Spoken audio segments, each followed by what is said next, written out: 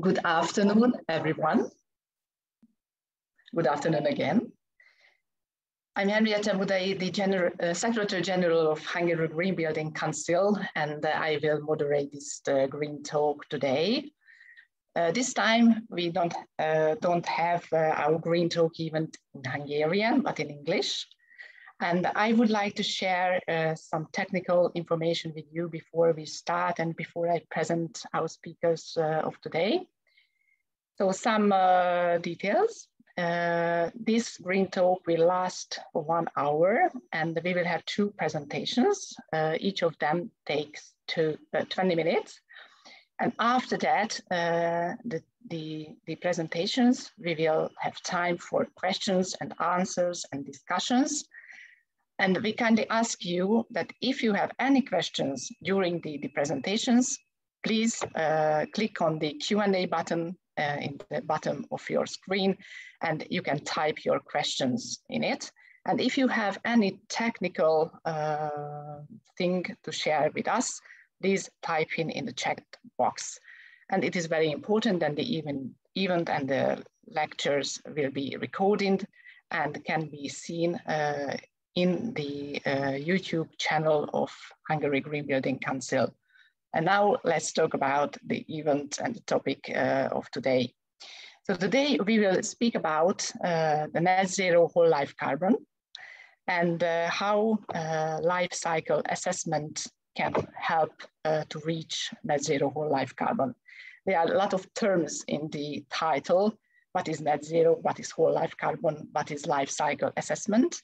And our lecturers will explain all terms uh, during their presentations. Uh, and uh, now this, this, is time uh, to introduce our speakers.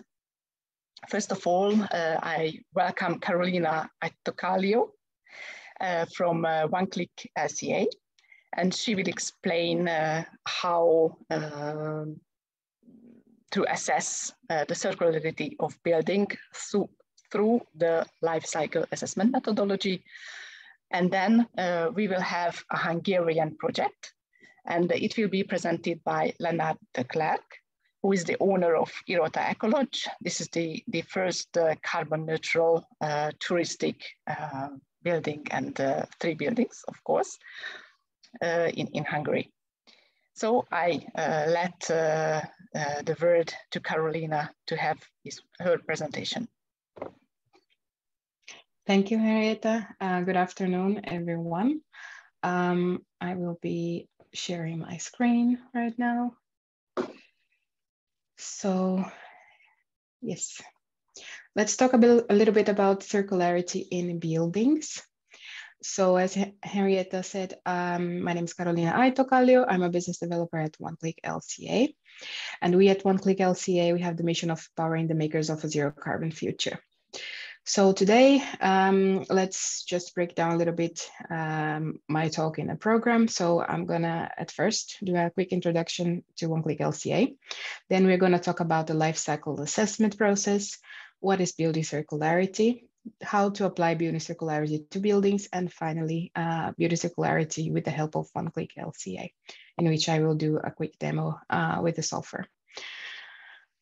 So about OneClick LCA, we are the world's leading construction and manufacturing LCA software. We have solutions in, so, uh, in terms of software for buildings, infrastructure, manufacturing, corporate greenhouse gas reporting.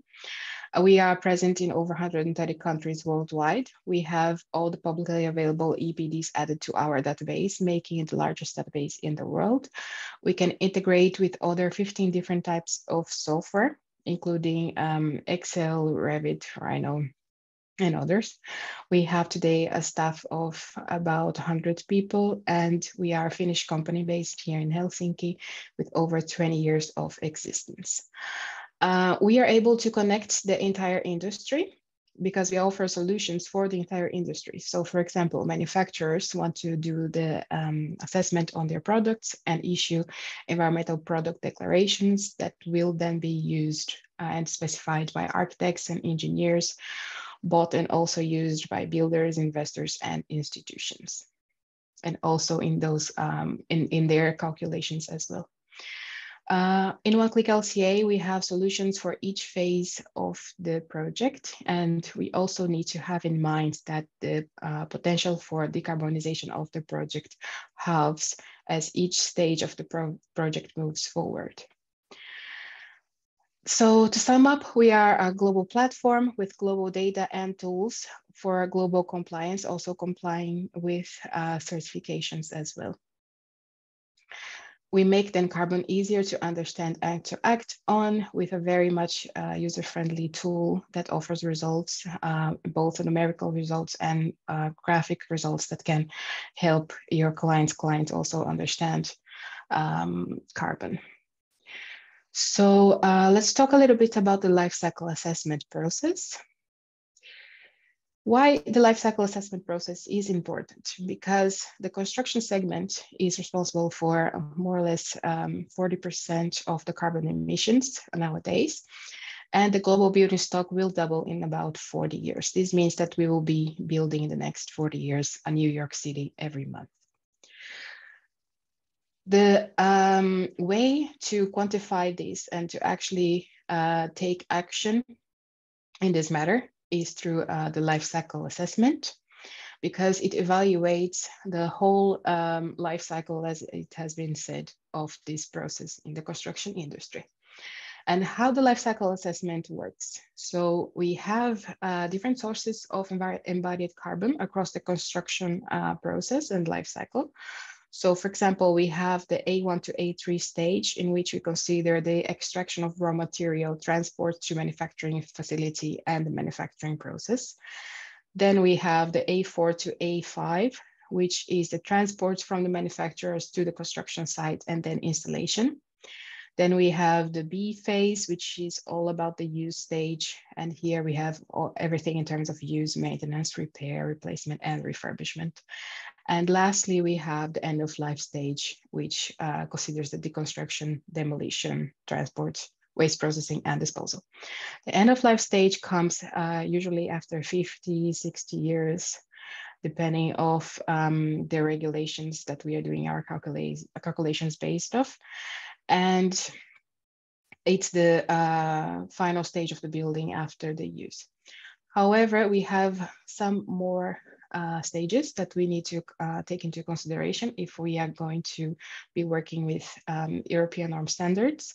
So uh, for example, in the B stage, we have the operational energy and water use. And we also have the D module that talks about benefits and loads beyond the system boundary. So in terms of life cycle um, assessment, this is how it is done with this breakdown of stages. And in terms of whole life carbon, the difference of whole life carbon is that it considers other impact categories uh, beyond just um, carbon and biogenic carbon. So it considers also acidification, eutrophication, uh, ozone depletion, and others. So uh, what is building circularity? Building circularity is a way to measure the circularity of a building and a, a construction of a building. So um, there is no norm in place for building circularity at the moment, but there are principles and metrics, and some of the most well-known and used are from the UK GBC, HQE Economie Circulaire from France, the London Plan Circularity uh, Statement, and the Ellen MacArthur Foundation Circularity Indicators, which are very much um, intertwined. So for these principles and metrics, what they consider are only the manufacturing stage and the end of life of the products of this building. So uh, also in terms of certifications, BREEAM also considers credits um, for the circularity assessment.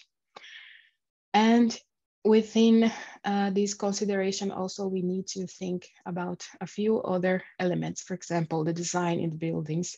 So is the design made for assembly disassembly?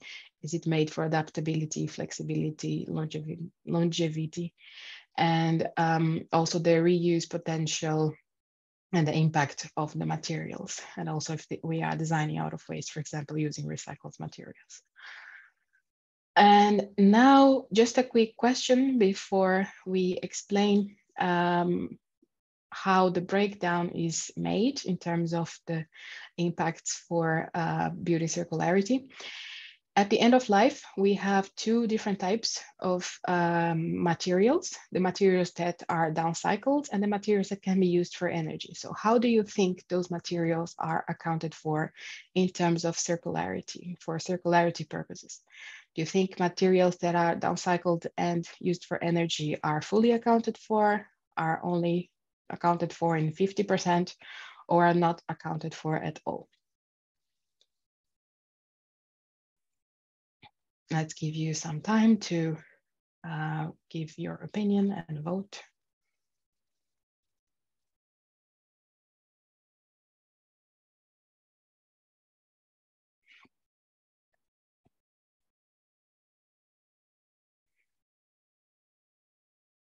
Okay, so I guess uh, we have uh, here the majority of you, 46%, uh, think that it's 50% accounted for. And you are correct. It is 50% accounted for. Let's have a look at how the circularity principles are used for circularity purposes. So we have here at the top of our circularity assessment, the materials recovered, in which we can find all the materials that are used in the construction of the building. So here we have virgin materials, renewable materials, recycled materials, and reused materials. And for circularity purposes, virgin materials are not considered at all, but all the other materials are fully considered. So the sum of materials recovered here is 4.1% from the renewable, recycled, and reused materials. On uh, at the bottom, on the other hand, we have the materials returned, which are materials that um, come from the uh, deconstruction process of the building after the um, life cycle has happened with the building. So here we have the use as material, which is fully accounted because it's a material that is used as uh, the same quality, same type of material. Then we have recycled materials. Uh, that are also fully accounted for. We have downcycling and uses energy materials that are uh, accounted for in 50%, as you guys now know. And uh, the disposal materials that are not accounted at all. Uh, so the sum of those materials are the materials returned and our circularity score is uh, the calculation of the average between the materials returned and the materials recovered. So how do we apply building circularity to buildings? We have some principles that we can work with. For example, we can combine it with other uh, life cycle assessment or life cycle costing uh, calculations. We have to be aware of the weighting principles, which are uh, mass-based and um, the calculations are mass-based and the weighting principles are the ones that we just discussed about at the moment, the last slide, sorry. And we have to also understand the scope of the calculation that considers all the materials in the period given, including site wastage, replacements, and end of life. And what does it cover? So it covers the re uh, reduce, reuse, recycle principle, value preservation, design for adaptability, and design for disassembly practices. The users uh, of one-click LCA that use this tool, uh, the building circularity, what do they need to know to do this assessment? Basically, the materials and their quantities, and also refine from the default values uh, the percentage of reused or recycled materials, the shares of waste, and also if they are um, made for design for disassembly and adaptability, if that's the case. The calculation percentage, uh, once again, is 100% uh, linear, taking into consideration the weighting principles. Um, so in terms of the uh, software and how to work with it, we have here, the first column is the resources column. So here we are having a, a look at the foundations and substructure um, part of the building. So in the resource column, we have the materials, then we have the quantities, uh, and the quantity types. We can add any comments that might help us with this assessment. Uh, we also need to share to, sorry, uh, do the input of the share of recycled, renewable, and reused percentage. according to the materials, the wastage as well, and also confirm if they are um, going to be used for design for assembly and design for adaptability, as well as choose our process for the end of life. Then uh, in terms of results, we can have results for uh, materials recovered and materials returned, not only in the graphs, but also in numeric terms. So here we see them in tons. And also we can see the material group, the key material groups. So the materials that are the most responsible uh, for uh, the circularity score and how so. So for example, here we have concrete with a very high uh, amount in the downcycling and use for energy, uses energy. And now let's have a look at how to work with building circularity with the help of one-click LCA. Um, so here I have a project in which we have our levels lifecycle carbon tool, and we have our building circularity tool. We have two projects, the baseline and the proposed design. And we can also compare them down here, the two projects. So if I click here on my circularity score from the building circularity, I can see the data input tabs. So the building materials, the circularity weighting factors, and the calculation period. In the building materials, we will see um, what I just showed. So here we have the foundations and substructure we can do the input of those materials either manually here by typing or clicking in the arrow, or we can also import from um, one of our uh, more than 15 different types of integrations. Then we need to do the input again of quantities, uh, percentage of recycled and so on. If we import from other sources, we don't have to do the input of all of it. Usually uh, the type of material, the name of material and quantity, uh, also quantity type are already uh, present in the importing. We have then the circularity score and weighting factors that are displayed here, as we mentioned before. This can also be altered if you're working with different um, principles for circularity. And we have the calculation period, which here is 60 years for this project. Then we can have a look at the results. And in the results, we have our graph that we just had a look at. We have also the results that we saw earlier. And we have also here the materials that are a list of materials that I have selected for uh, design for disassembly and uh, adaptability practices.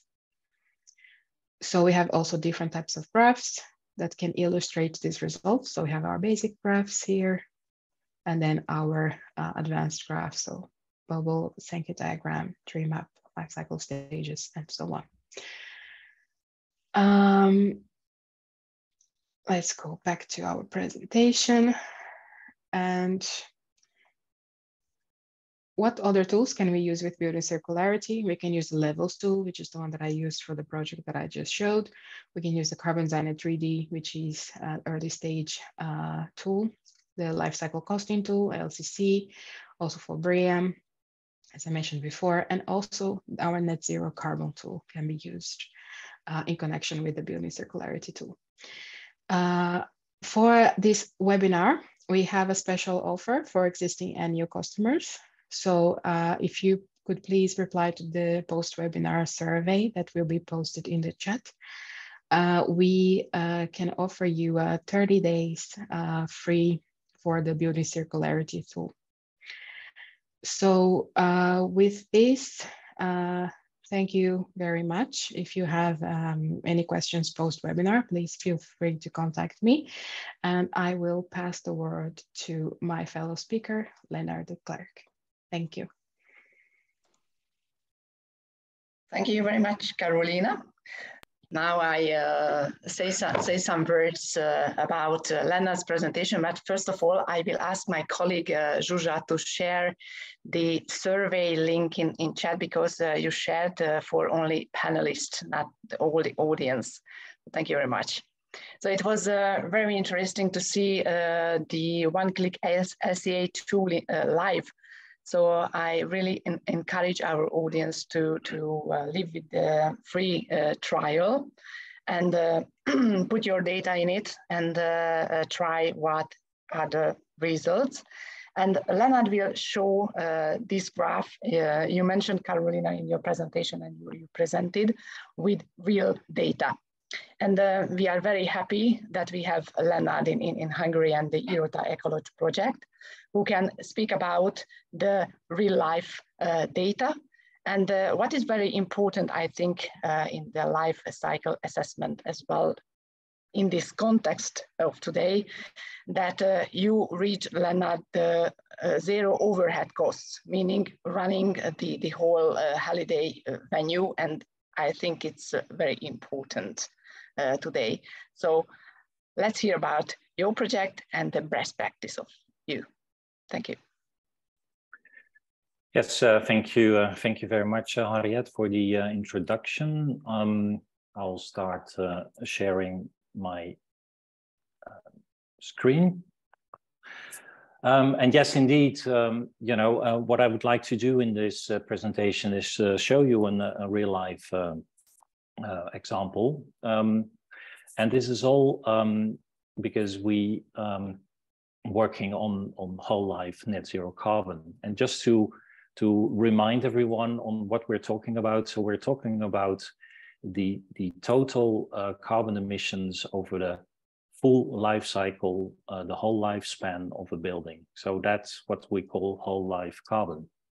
And that consists of two elements. One is embodied carbon, and embodied carbon is defined of the carbon uh, emissions due to the construction of the building, um, the replacement and refurbishment during use, and at the end of, uh, of the lifetime, uh, the demolition. Whereas operational uh, carbon is the carbon emitted for using uh, the building as such. So you should think about heating, uh, emissions or, or the usage of, uh, of electricity uh, while using the building. Um, other elements, and, and I will talk to, about it um, uh, soon, is about biogenic uh, storage, um, uh, exporting energy if you produce more electricity, for example, than you consume. And if you have any carbon emissions remaining, you might offset them through, through projects. Um, but I would like to start with um, the poll now, um, because the, the World Green Building Council has set a whole life carbon vision. And that consists of uh, several uh, elements. And um, the um, you see here three statements, and only two statements are, are correct. Uh, one statement is wrong. So I'll read them out um, by 2030, new buildings should be net zero for operational carbon. By 2030, existing buildings should be net zero for embodied carbon. And the third one, by 2050, new buildings should be net zero for whole life carbon. So that's operational plus embodied.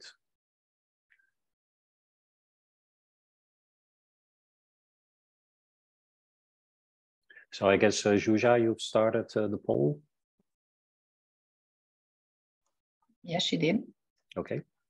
It's running.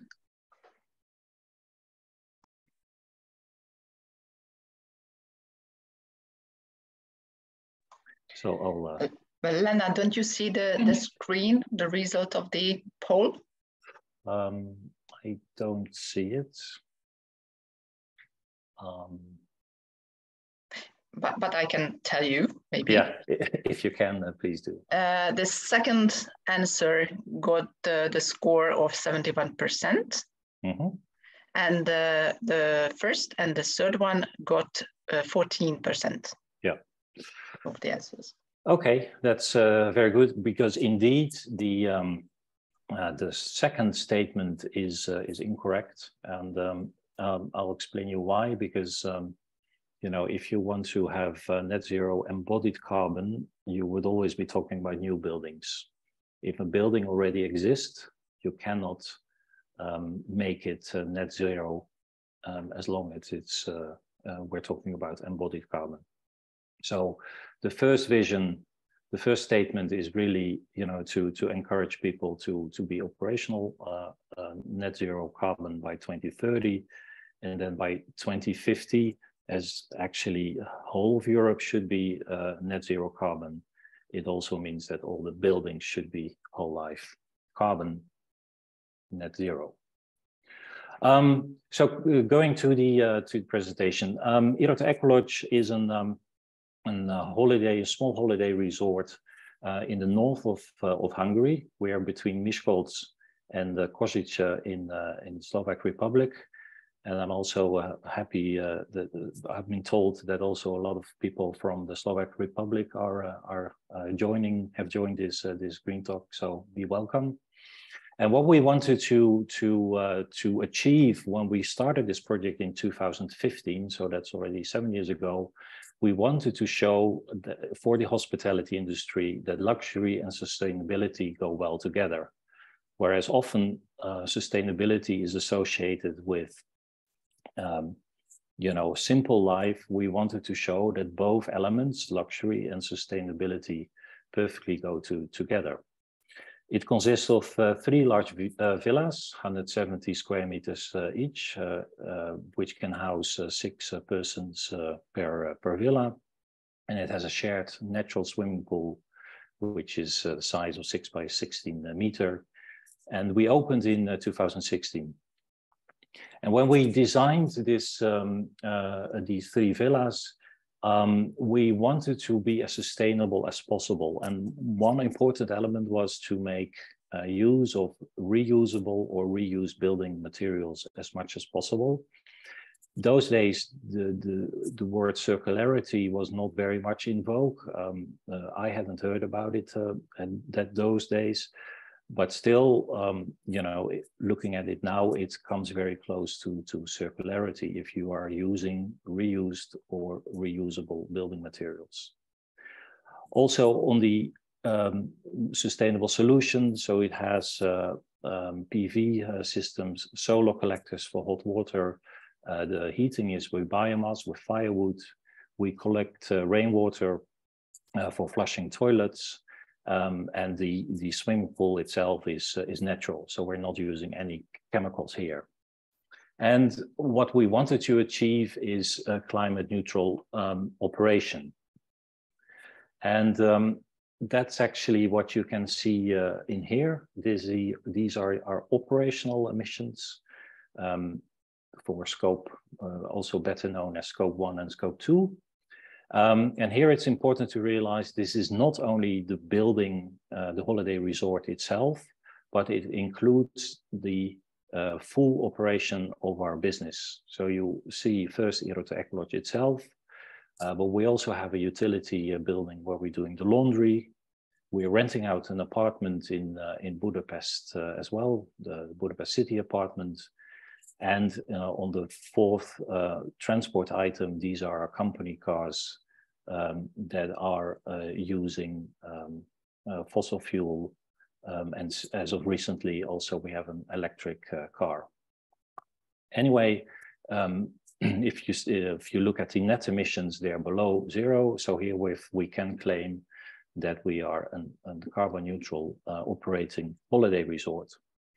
Um, but actually what we uh, did want to have a look at is indeed what are um, what have been our um, embodied uh, missions when we built uh, Irota Ecolodge, and if we look on the whole life cycle, um, are we still uh, net zero as well? Um, so, with the help of the the, the one-click uh, LCA software that uh, Carolina just presented, we did a retrospective analysis of um, of the of one villa um, but as the three villas are very similar, basically you can copy the results from one villa to, uh, to the other.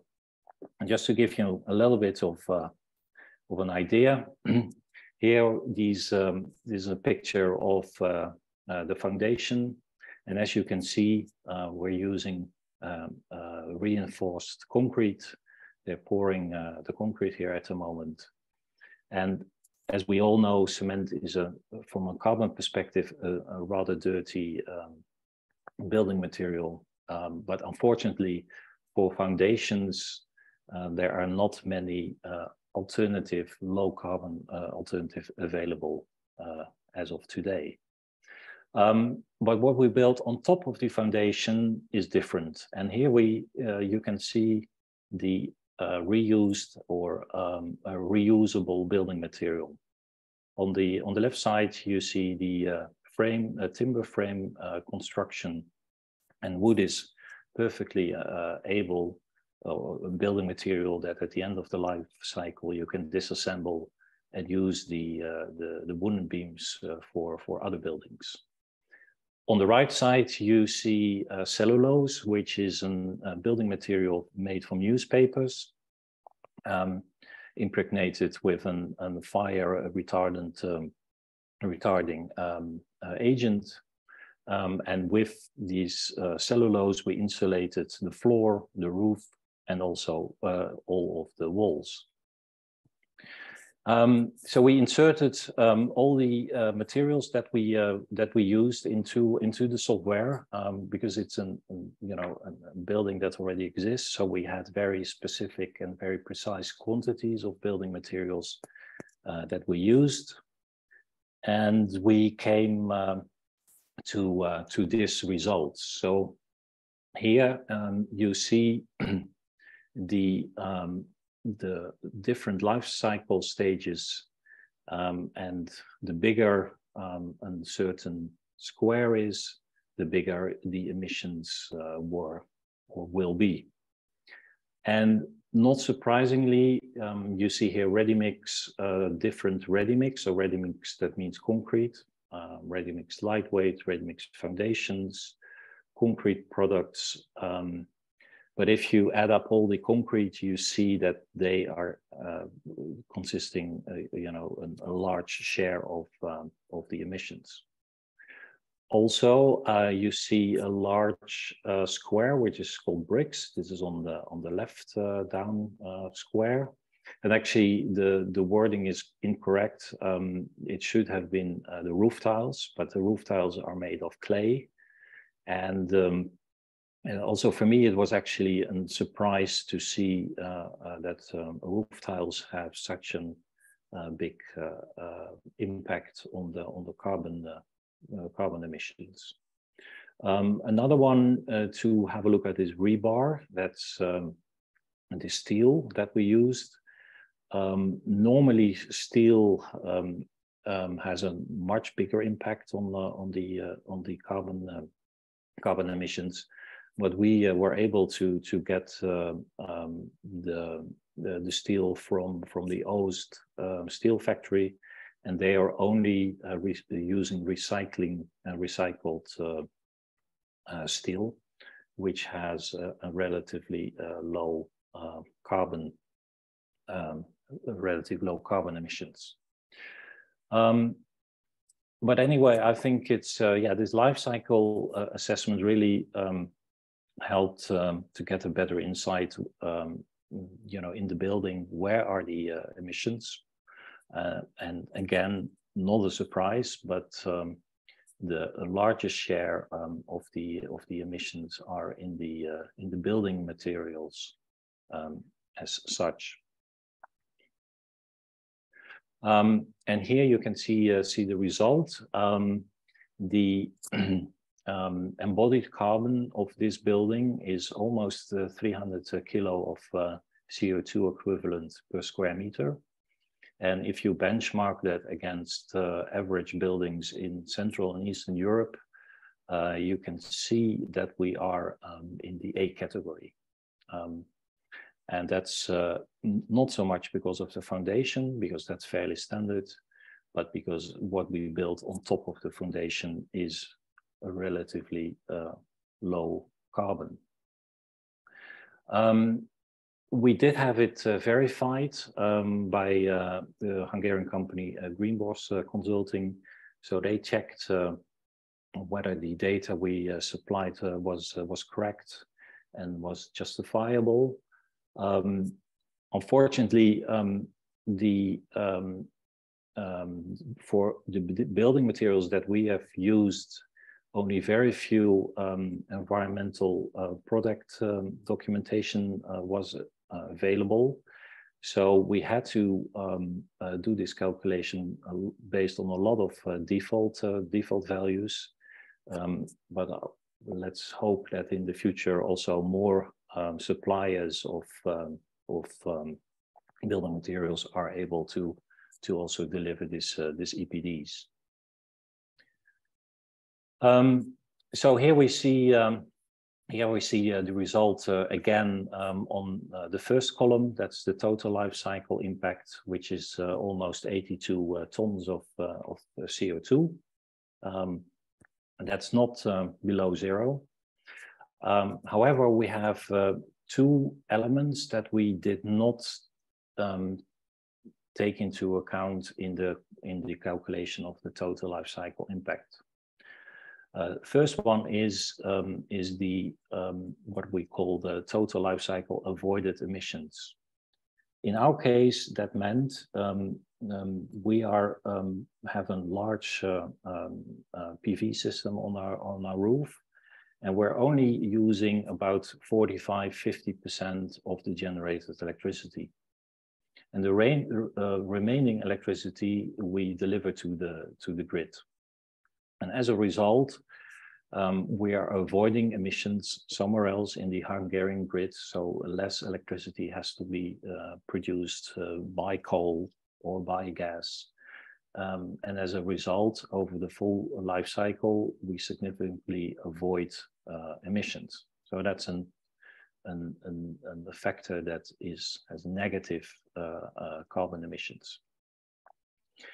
Um, but in the third column, you see the so-called bio biogenic carbon storage. And biogenic carbon storage means um, that the building materials that you've been using, and in our case, that's timber and, uh, and cellulose, um, is based on um, natural building materials um, based on trees that uh, were growing. And while the trees were growing, they were taking CO2 out of the atmosphere and stored it uh, in the wood. And by using um, a lot of biogenic um, building materials, we in, in, in, this, uh, in this villa have also stored a lot of carbon. And I must say to also to my uh, own surprise, this was quite uh, a big amount in terms of uh, CO2.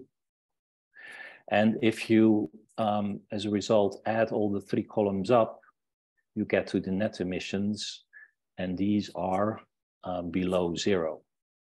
So we were uh, actually very happy and proud that uh, Irota Ecolodge is not only a net zero operational um, uh, company, but a company or an, an, object um, that is uh, net zero uh, carbon over the full life cycle.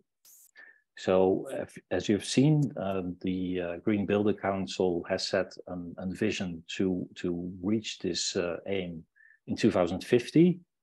Um, but we and I, I must admit, uh, not knowing, but we reached uh, this uh, this milestone already in uh, 2016 when we delivered uh, the three holiday homes.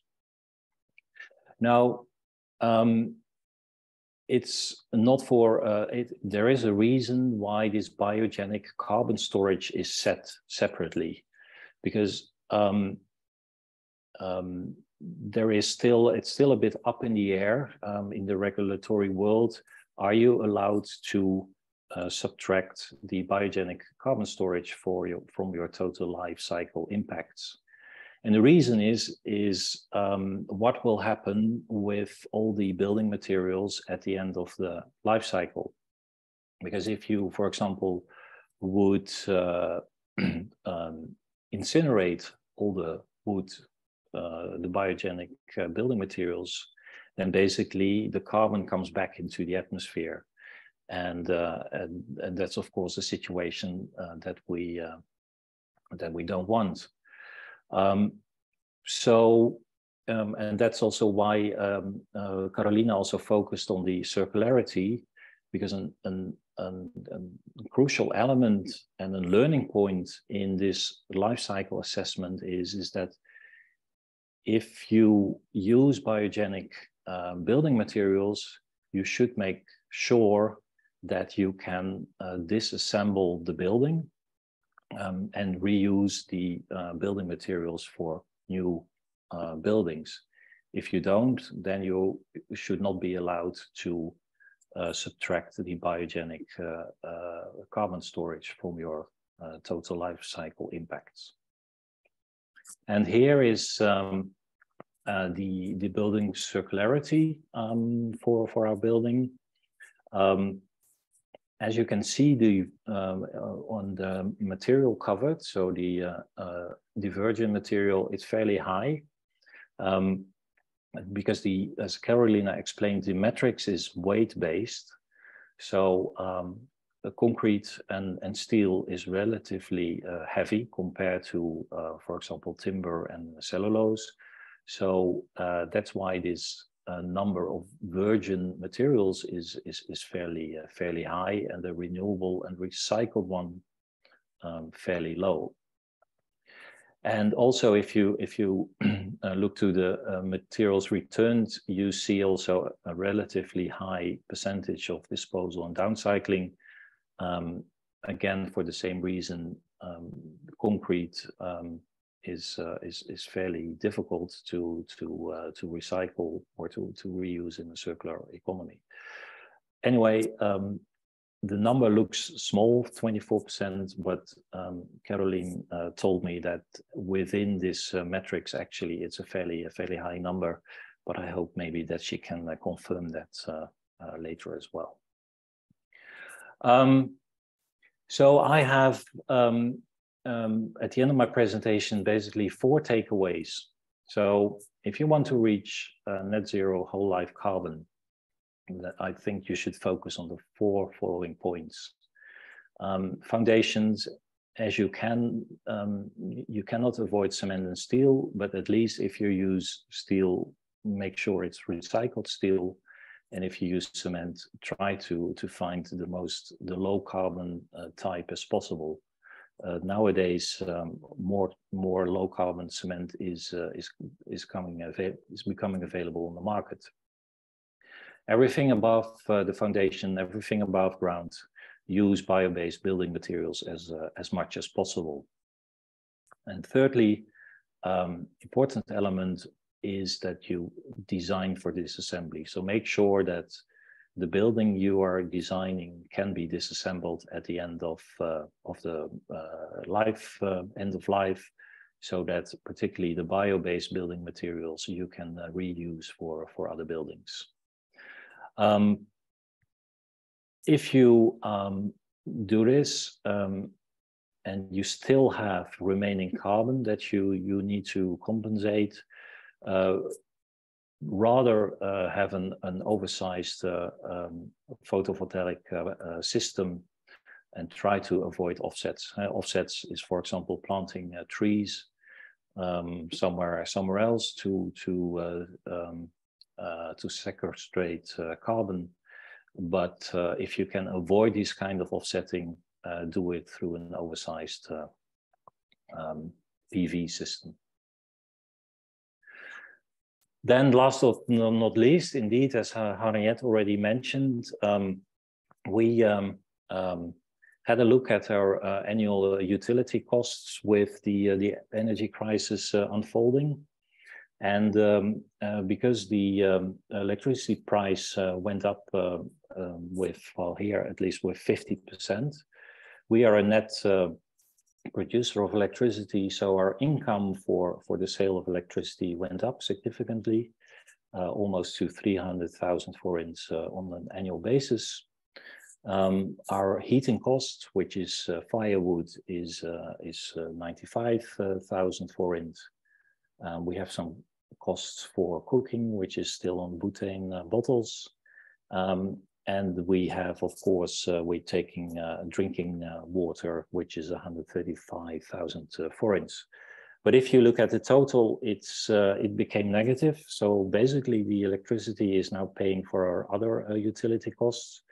And we are fairly unique in this sense because of a lot of hotels in the in in Hungary and uh, I guess uh, this, the situation is similar in the Slovak Republic. Uh, will close uh, during winter because they simply cannot uh, afford the the heating and the heating bills. Um, but also, if we hadn't um, had any solar systems, if we didn't use biomass but would be heating with natural gas, if we didn't collect uh, rainwater for flushing the toilets, our utility uh, annual utility bill would be uh, a million forint. Um, that's 2,500 euros approximately. Um, and even if if we uh, and this is for a well insulated building, if the building would not be well insulated, then probably we would have been in the same situation that we had to uh, had to close for uh, for uh, winter. So uh, this brings me uh, to the end of my presentation. Um, there are some some previous um, um, webinars on on carbon footprinting, electrical driving, um, also through the Green Building Council, we did a green walk, so you can also walk uh, uh, through the uh, the different buildings and uh, and have a look at the pool. And um, the carbon footprint report, which I showed you on the first slide, uh, can also be downloaded from uh, from our website. So thank you very much for your attention, and I give the word back to to Harriet. Thank you very much, Lena, for your presentation and for Carolina as well. Okay, you stopped sharing your screen. And now this is time for questions and uh, uh, comments. If you have any questions. So uh, we received the questions in the Q&A uh, window and uh, Carolina answered it uh, in typing the answer in the, in the window but maybe it's uh, to uh, have or answer the question live, maybe. Uh, so the question was that what is the average office building embodied carbon level in Europe? And uh, Carolina, can you please uh, answer it live? Yes, uh, so I actually got the data from Hungary, um, and um, the data in the last in the third quarter of 2021 according to our benchmark, it would uh, range from the A grade uh, to those below 250 kilos of carbon per meter to the G grade, uh, those that have uh, over 700 kilos of um, CO2 per square meter. Okay, thank you very much. We uh, got another question uh, in the Q&A window, and uh, it is about uh, the impact of the solar panel production and transport here in Hungary. The question is how green solar panels are. But this is a good question. I don't know uh, who uh, would like to answer this question. Um, I can give it a try. Um, yeah, it's, it's, it's a good one. Um, of course, um, you know, um, with the production of, uh, of, of panels and the transport, you you do have carbon emissions. Um, I don't have uh, numbers um, on on on the top of my head on, but of course your your solar panels they have a, a lifetime. Normally they guarantee it for for 25 uh, years, but in practice uh, they will be able to work longer. So definitely they um, you know will have to work some time to um, compensate the uh, the production emissions, but at some point they really become fully green, um, and uh, you know deliver carbon-free uh, uh electricity. Um, and actually, in if I'm correct, also in the in the software, the um, green electricity is not zero carbon, but it also reflects um, the uh, emissions that were um, you know produced when the, the, the panels were made. Yes, thank you very much. And uh, uh, we have a question uh, live from Gabor Sarvas, and uh, I try to allow to talk. Gabor. I ask you um, unmute yourself. Okay, can you hear me now? Yes. Okay, thank you very much. Uh, I actually want to just make um, uh, a remark rather. Um, obviously, mm, I represent uh, Greenbourse, which was mentioned by uh, Lennart as the uh, company who was uh, helping to uh, review the um, the calculations. And I'm I must uh, really say that uh, um, we were really honored to to be able to contribute this project because um, I mean we believe it's truly an exemplary uh, um, uh, construction project in in in in Hungary, um, and it's so so it was really a pioneering approach to to the whole um, uh, um, setup. So from from the design through the construction, um, and uh, yeah, uh, including the, the the circularity concept, which was yes, as as um, Leonard mentioned, wasn't even sort of so um, well known at that time. But essentially, if you want to focus a, a, a whole life carbon neutrality, then then this is this is absolutely necessary. And and another um, uh, important aspect is also it was highlighted that uh, so this project was you know achieving this neutrality without any offsite compensation. So so so offsetting is is obviously a, a possibility for everyone, but then um, um, I mean if you can, and this was an example where within the boundaries of the project, uh, this um, uh, uh, neutrality could, could have been achieved. So, so this was very much, um, you know, um, an honor for us to be to be able to work on this um, uh, project, uh, because we also believe that this is, um, you know, really the the the uh, the next focus um, for for the whole building industry. So we are, of course, today with the middle of in the middle of the energy crisis, uh, very much concerned of um, um, you know operating uh, energy and operating uh, uh um, uh, um, operation related um, uh, emissions. But the the embodied carbon, um, so so so all the carbon which is linked to the building materials and the construction itself I mean, this is something which we we should not forget, and this is also something with the World Green Building Council um, is clearly um, um, you know raising more and more awareness of. So um, um, as it was also mentioned, this is something for for every um, uh, developer to to to, to consider, and not you know in the long for time future, but but actually should be doing it today.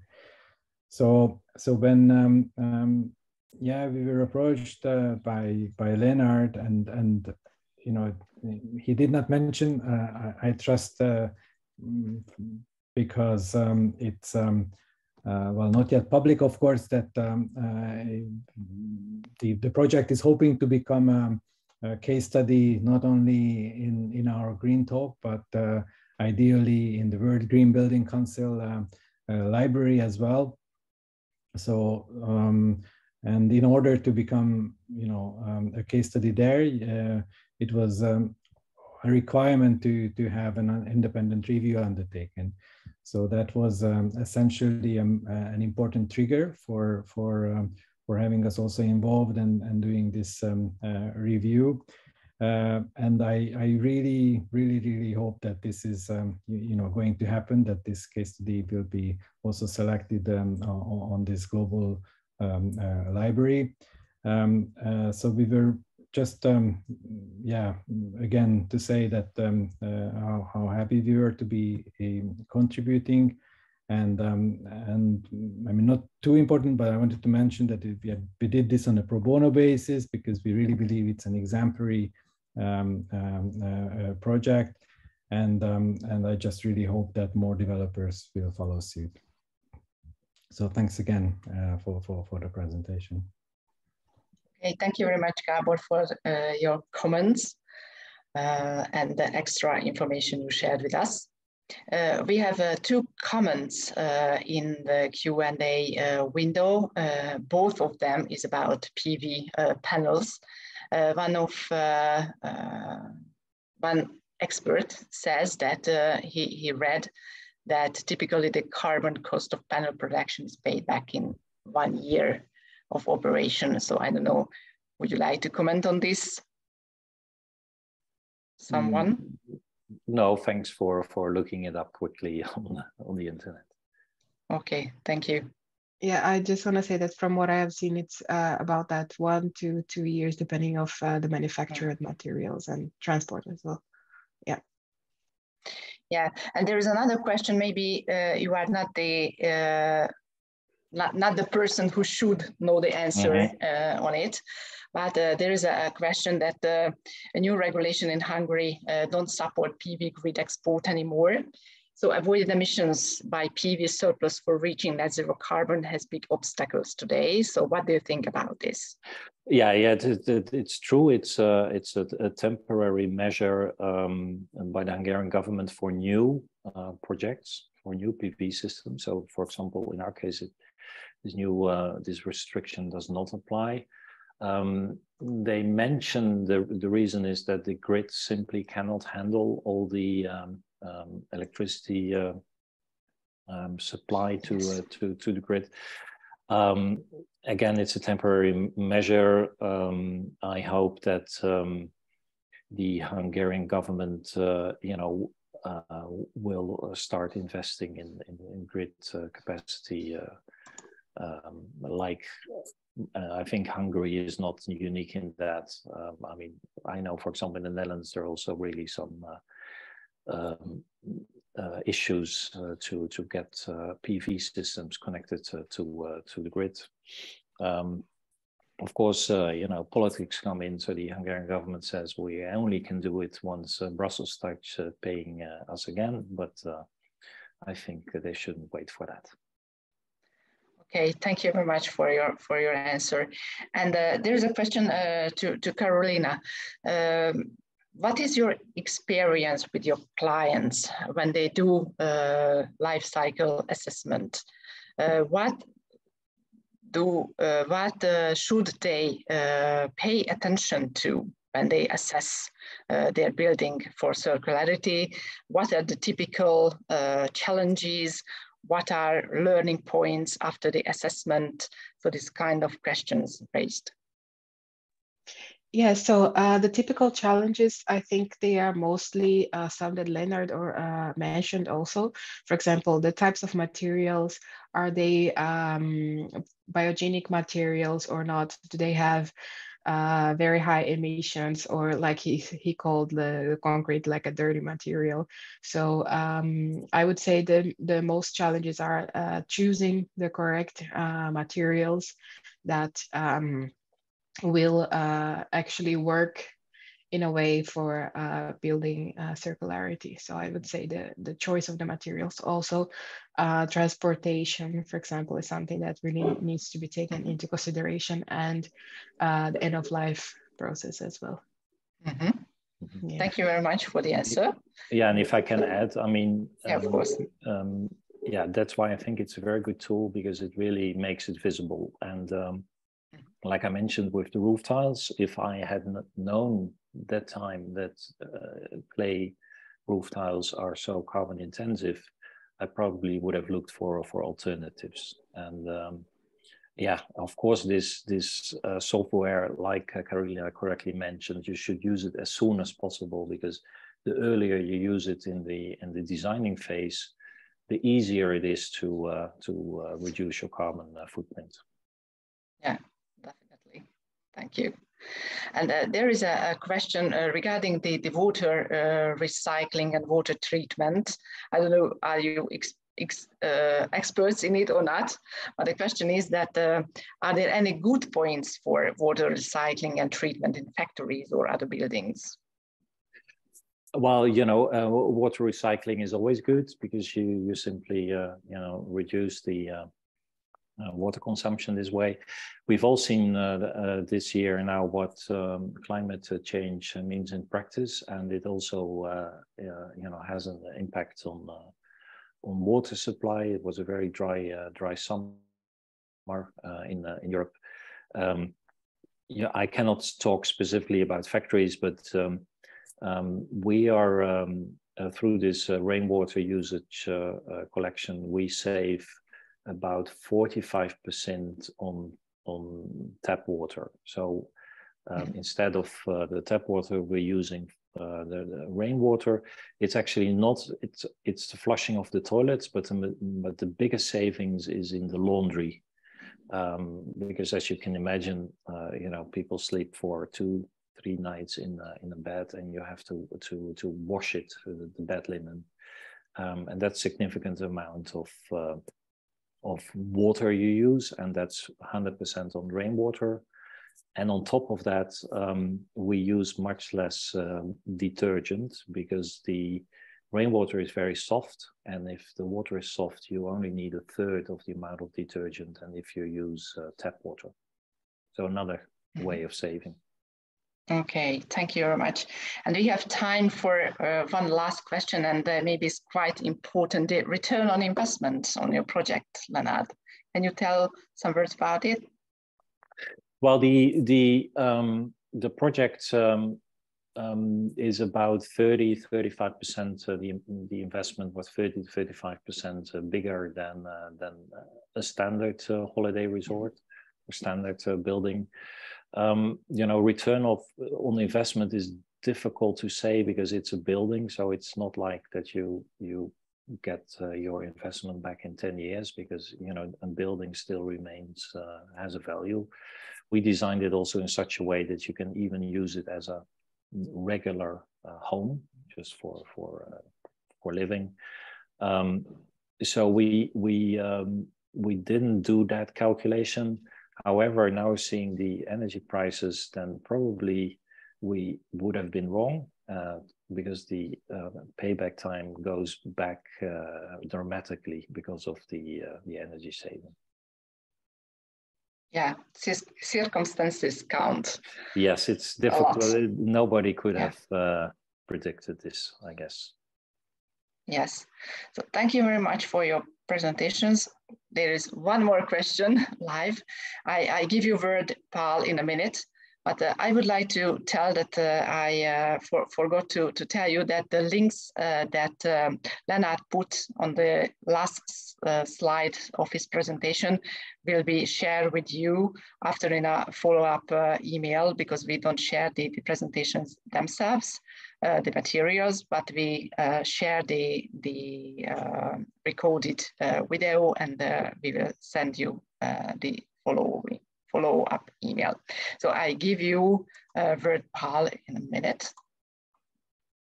Just a moment.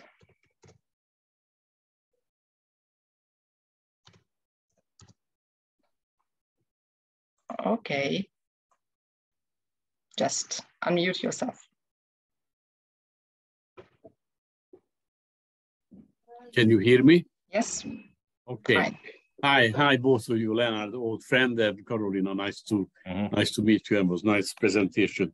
Uh, I just wanted to draw the attention. I mean, obviously, uh, Leonard and his project has been part of our our, our Hungarian operation for some times because uh, it was from the very beginning there was an intention uh, without using this fancy word of carbon neutral life cycle, so on and so forth, uh, of making uh, uh, a low sustainability footprint or a low sustainable impact project. And, and, uh, and I, I think that the, the history of this uh, um, the development represents the intention of, of the developer or the people who were associated with it is to is to design this nature, as we say, and uh, uh, retesting the project into this more rigorous uh, uh, assessment system uh, should itself, uh, uh, how should I put it, should itself uh, give us some idea of how far when we face the market, when we face clients, when we face our own work, we should rely on our own intuitive uh, and common knowledge uh, sustainability principles and how far it will require such a rigorous testing as the uh, one click is proposing. Um, because from the, you know, just from the presentation, one would, one would feel that it's, uh, it's not robust enough. I mean, essentially, the outcome is very robust, it's very visible, very good graphics. But um, uh, getting all this uh, information, and especially as you mentioned that many of the traders, many of the building materials are not listing the, the carbon content at the moment. So we need to find a, a kind of learning experience of how far uh, uh, a design and development which essentially takes on the aspiration of remain sustainable, sustainable uh, uh is a sufficient base uh, to move forward rather than to wait for this extremely rigorous calculation. And I, I, didn't catch, there was a remark from uh, Leonard whether the, when the project was run through the, through your system, Caroline, that you had difficulty of actually finding numbers, uh, even in a post-evolution stage. So that's the kind of question I would like both of you to answer of how, what, what's the practical way of going about it.